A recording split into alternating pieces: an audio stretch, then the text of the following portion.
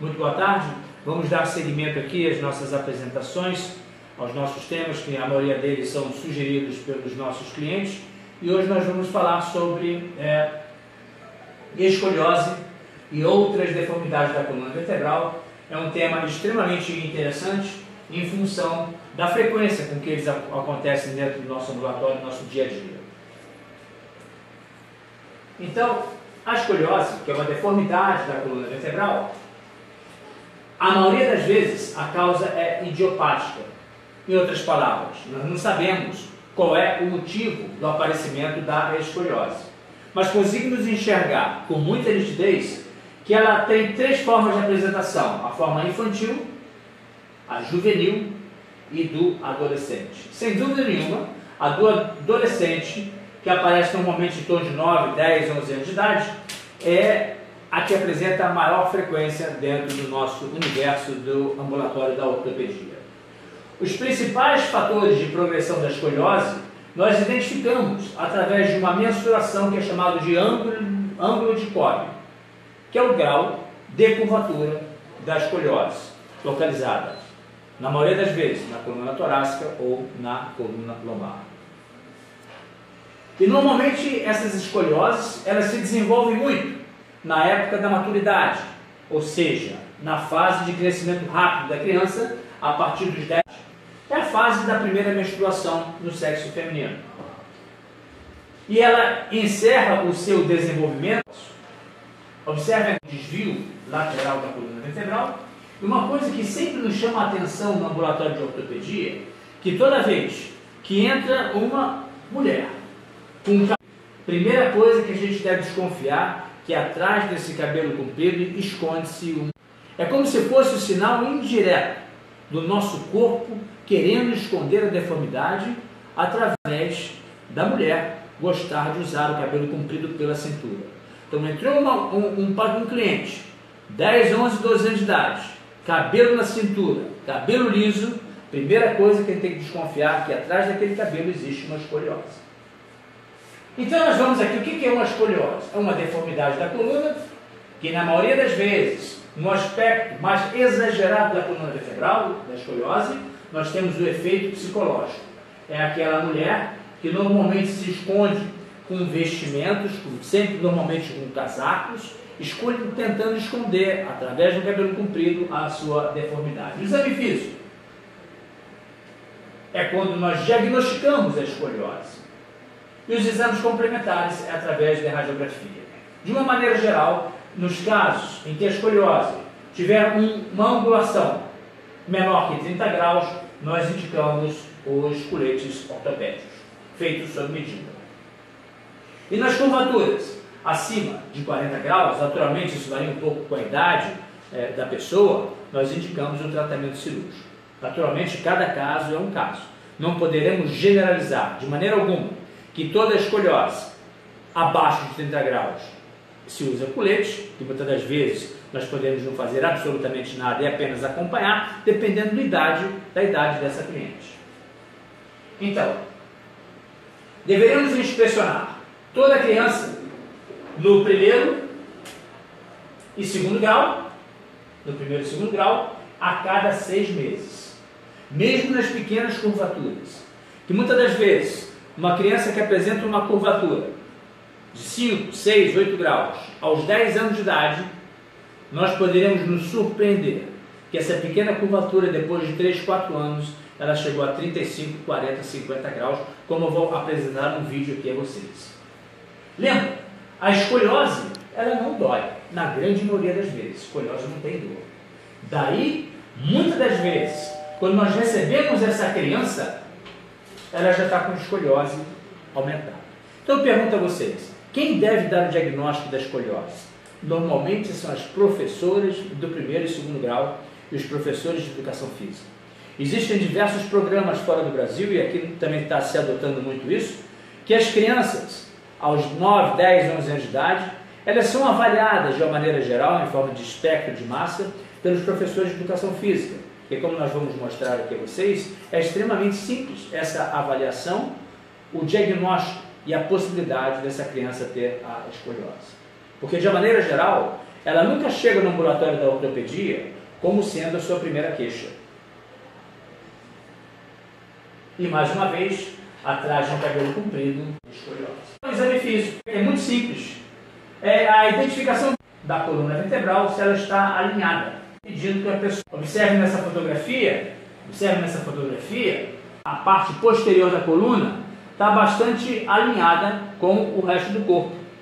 Pedindo-se a flexão lateral, nós observamos que a coluna, desde a região cervical do pescoço até a coluna lombar, ela está alinhada. Nessa fotografia, é uma coluna normal e aqui o aparecimento de um desvio lateral da coluna vertebral, chamando-se de escoliose. Existem outras causas de deformidade da coluna vertebral, que são as deformidades congênitas. São curvaturas de evolução muito rápida e que as deformidades são muito maiores que aquelas, que, que aquelas causas idiopáticas, que nós não sabemos qual é a sua origem. Normalmente é uma forma que se chama de vértebra em cunha, localizada na coluna lombar, mas em algumas ocasiões na coluna cervical. Então aqui eu vou mostrar algumas fotografias e vocês facilmente vão conseguir identificar a diferença daquela nossa nosso primeiro exame e essa fotografia. Observe a deformidade nítida e clara, desvio lateral da coluna. Na hora que ela manda fletir para frente, aparece essa deformidade que nós chamamos de giba, que nada mais é do que a rotação da vértebra, levando consigo as costelas, apresentando-se então a giba, chamada giba costal. Observe essa fotografia, o desvio lateral, observe que os ombros estão desnivelados, ombro desnivelado, cabelo comprido, escápula, uma localizando-se mais à frente da outra, e o ângulo da cintura, chamado de ângulo de Thales, também está diferente do lado direito para o lado esquerdo. Observe o perfil, posicionamento do ombro, posicionamento dos omoplatas da escápula e o nível da cintura. Na hora que faz a flexão anterior do tronco, observe a presença da giba costal. Essa fotografia, ombro, a parte a giba, posicionamento, a visão posterior, a escoliose, desnivelamento da, da, da bacia, do ombro. Essa é a deformidade da escoliose. Isso aqui é a medição da giba costal, flexão do tronco, essa rotação da vértebra levando consigo as costelas e aparecendo essa deformidade. Naturalmente, essa cliente já passou da fase de tratamento que seria o colete ortopédico. Colete ortopédico nada mais seria que a correção daquela árvore que está em crescimento. A árvore está crescendo, então nós colocamos uma escora de madeira, amarramos essa escora na árvore e à medida que essa árvore continua o seu crescimento, ela vai se alinhando, a natureza vai se alinhando e a escoliose, de uma maneira geral, ela corrige. Depois da curvatura estabelecida, dos 13, 14, 15 anos de idade, não adianta mais o uso de colete ortopédico, porque essa árvore já terminou o seu crescimento. Então, as indicações do colete normalmente é na faixa de 11 anos de idade, 12, 13 e 14 anos de idade. Aqui estão os desvios da coluna vertebral. Aqui as angulações que podem chegar a 80, 90, 100 graus de curvatura. Aqui um pós-operatório da coluna. Aqui a cirurgia que é proposta, que é fixação de hastes com parafusos em pontos estratégicos da coluna vertebral. E agora vou mostrar um vídeo a vocês, muito interessante, que vocês vão conseguir observar a formação de uma escoliose ao longo da vida. Altstab?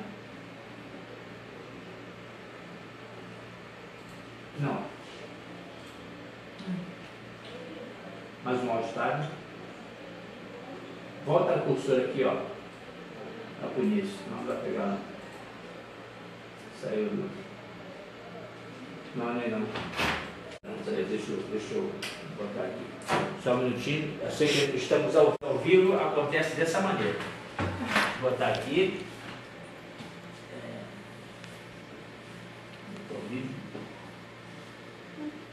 Não, não, tá, não, não, não, não.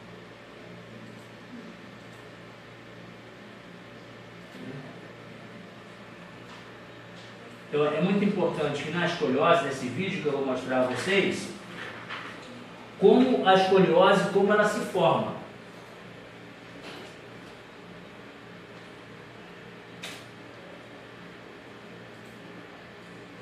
Então está aqui a escoliose, a criança aos 3 anos de idade, observem aqui, está vendo que a, a nossa apresentação realmente é ao vivo.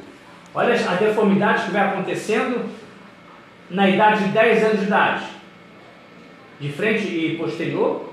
Agora vamos avançar na idade, aos 15 anos de idade, olha como é que ela evoluiu muito, dos 10 anos aos 15 anos, e observe agora aos 23 anos de idade.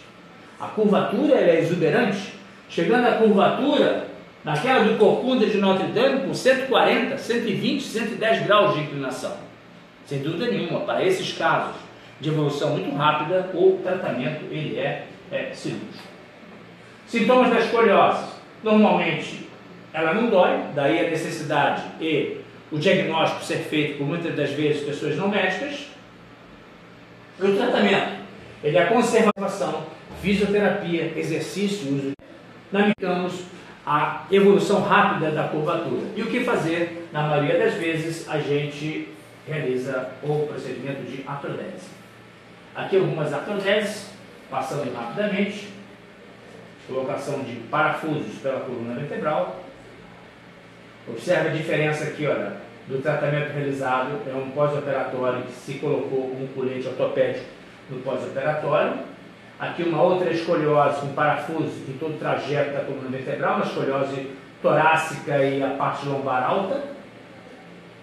E esse foi a nossa apresentação no dia de hoje. Desculpe, sem dúvida nenhuma, o